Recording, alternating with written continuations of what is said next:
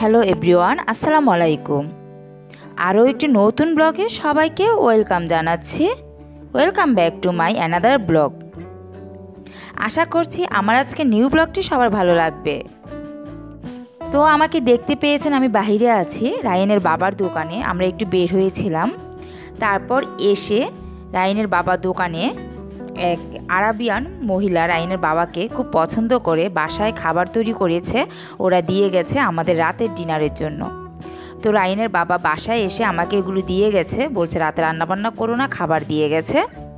তো এখানে আছে আরাবিয়ান স্টাইলে খাসির মাংস দিয়ে খ্যাপসা। ওদের রান্নার ধরনটা আমাদের সচরাচর আমরা বাংলাদেশের মানুষরা যেভাবে রান্না করে থাকি এটা থেকে একটু ভিন্ন? ওরা এত তেল, মশলা, ঝাল এগুলো খায় না। সব মশলাই ইউজ করে, ঝাল তেলটা কম থাকে। তো এখানে বাসমতি চাল দিয়ে আর খাসির মাংস বড় বড় পিস করে ওরা একটা খ্যাপসা তৈরি করেছে। ওদের দেশে একটা জনপ্রিয় খাবার হচ্ছে খ্যাপসা।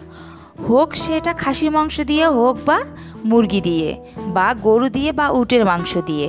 ওরা এ খাবারটা খুবই পছন্দ করে ও বাসায় তৈরি করে থাকে, আবার বাইরে থেকে কিনেও আনে।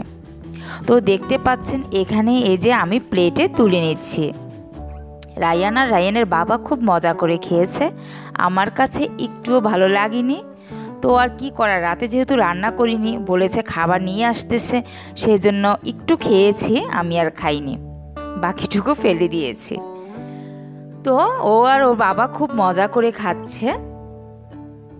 তো এখানে আমরা রাতের ডিনারটা সেরে নিচ্ছি। ভাবলাম আরব দেশের আরব মহিলা রান্না করে যেহেতু পাঠিয়েছে, আপনাদের সাথে একটু শেয়ার করি ওদের রান্নার স্টাইলটা কীভাবে রান্না করছে সেটা তো আর শেয়ার করতে পারব না। যেভাবে দেখতে কিন্তু ভালো লাগে। পরিবেশনটা ওদের বরাবরই খুবই সুন্দর হয়।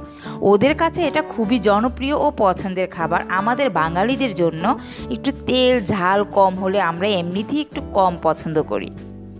এই যে আমার হাজব্যান্ড খাচ্ছে আর আমি ওকে বলছি, একটু মাংসের পিসটা উঠিয়ে দেখাও। দেখুন, ওরা বড় বড় টুকরো করে খ্যাপসার মধ্যে চিকেন খাসির মাংস দিয়ে দেয়। তো আজকের ব্লগটা আমি একটু ছোট করেই তৈরি করেছি। আমি একটু শেয়ার করার চেষ্টা করেছি যে আরব দেশের মহিলারা কি কি পছন্দ করে থাকে সেই জন্যে একটু শ্যুট করে রেখেছি। ভাবলাম এটুকুই ছেড়ে দিই। তো আজকের ব্লগটি আমার কেমন লেগেছে দর্শক বন্ধুরা? যদি ভালো লেগে থাকে তাহলে প্লিজ লাইক কমেন্টস এবং শেয়ার করবেন। ফ্রেন্ডস এবং ফ্যামিলির সাথেও শেয়ার করবেন। ভালো লাগলে একটা সাবস্ক্রাইব দিয়ে পাশে থাকবেন। এখানেই বিদায় নিচ্ছে। আল্লাহ হাফেজ।